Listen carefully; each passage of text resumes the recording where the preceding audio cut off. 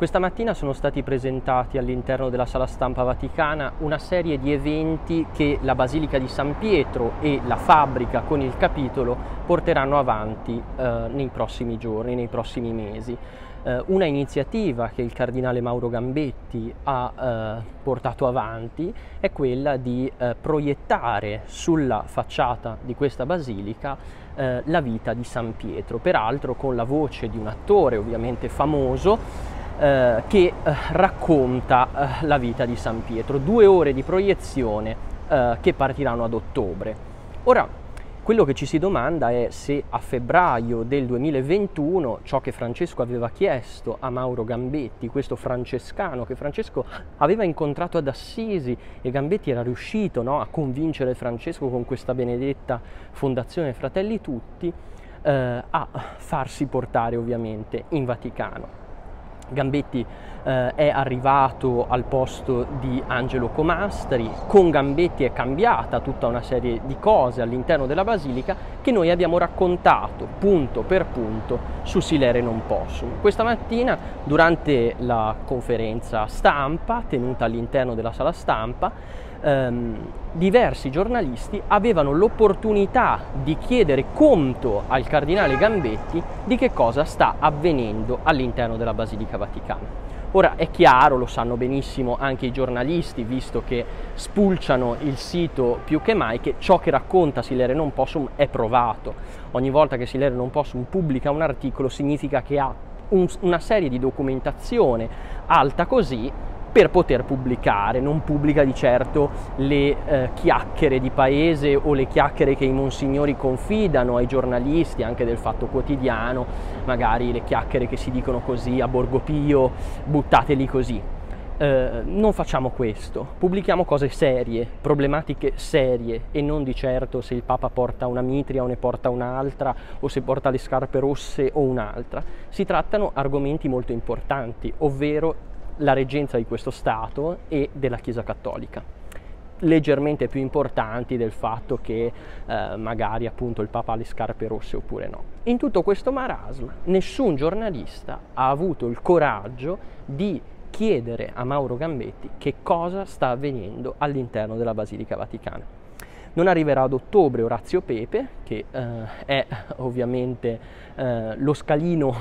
eh, più basso rispetto a Gambetti e ovviamente sull'altare eh, della, dell'ipocrisia viene sacrificato, come direbbe Francesco. Questo, questa immolare le persone sull'altare Francesco eh, ce l'ha ben chiaro e in questi giorni sono arrivate diverse lettere sia da Santa Marta sia dalla segreteria di Stato che chiedevano conto a Mauro Gambetti di una gestione che non funziona. Su Silere non posso, ma ad esempio potete leggere che il 4 settembre, durante la beatificazione di Giovanni Paolo I, c'era il sagrato della basilica completamente sporco, escrementi di uh, uccelli, altre cose che uh, ovviamente hanno sporcato la basilica. Ha salvato un po' la pioggia, ma ovviamente la situazione era un degrado. Monsignor Leonardo Sapienza, che da anni serve la Santa Sede con dedizione, lo Stato della Città del Vaticano, il Papa, eh, ovviamente ha fatto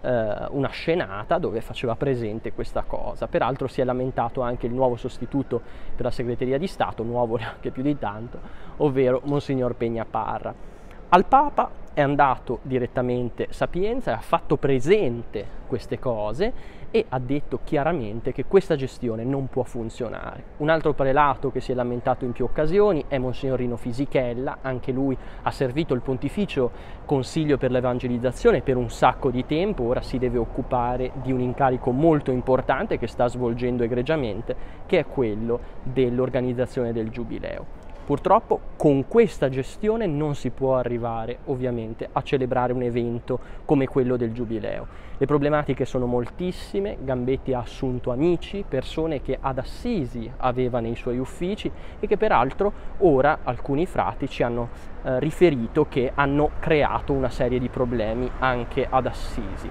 Il problema è che questa non è la Basilica di Assisi, per quanto la Basilica di Assisi possa essere importante, soprattutto c'è un valore affettivo da parte della cristianità perché conserva le spoglie di quel santo francescano che Gambetti dovrebbe seguire ma in realtà non segue, perché negli anni passati Gambetti criticava tantissimo alcuni predati, soprattutto cardinali eh, che ancora oggi non hanno capito come venivano presi in giro, ma va bene, ehm, e dicevano che questa ricchezza non va assolutamente bene. Eppure Gambetti ha abbandonato il saio francescano, non, non sa più dov'è, proprio non sa più dov'è, non, non esiste più. La talare cardinalizia la utilizza soprattutto la domenica eh, in basilica, ma poi ama questo clergyman di tessuto molto buono, queste croci pettorali molto valide, AirPods abbastanza costosi. San Francesco che cosa avrebbe detto di tutto questo? Ecco, tutte queste domande forse le avrebbero dovute porre i giornalisti, giornalisti che invece sono succubi di una sala stampa che sostanzialmente dice questo, se tu fai un qualcosa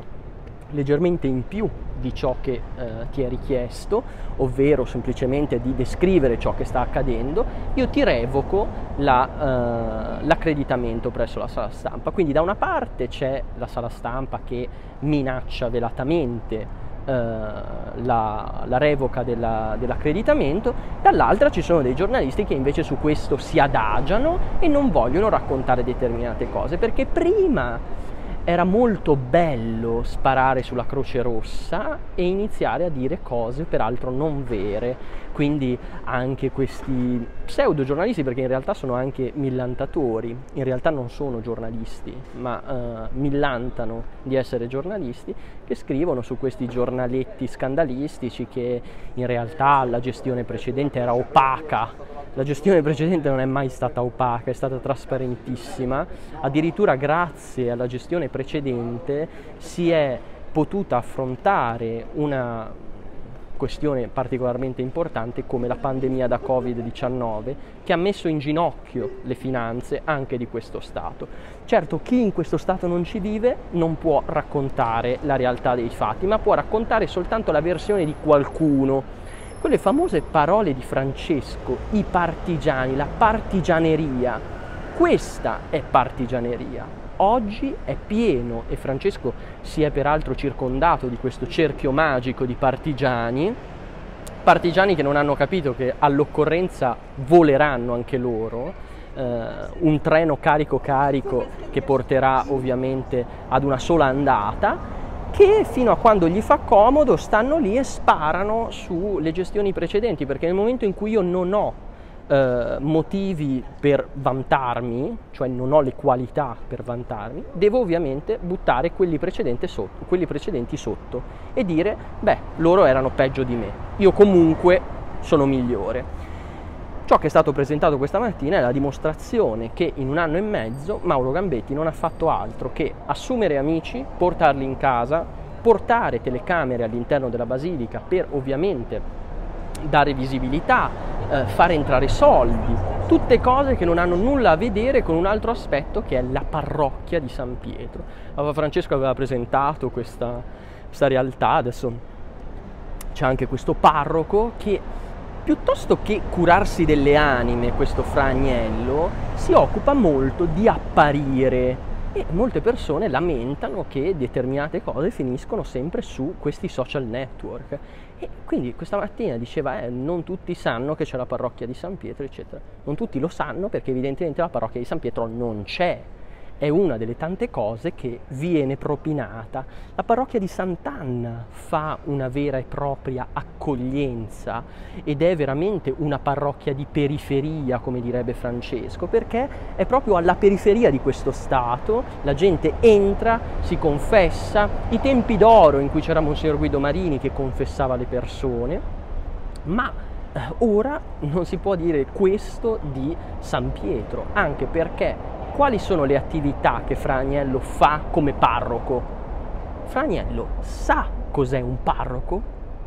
Peraltro ci sarebbe anche da discutere tutta una serie di cose sul fatto che il religioso, fare il parroco, non è proprio la sua vocazione.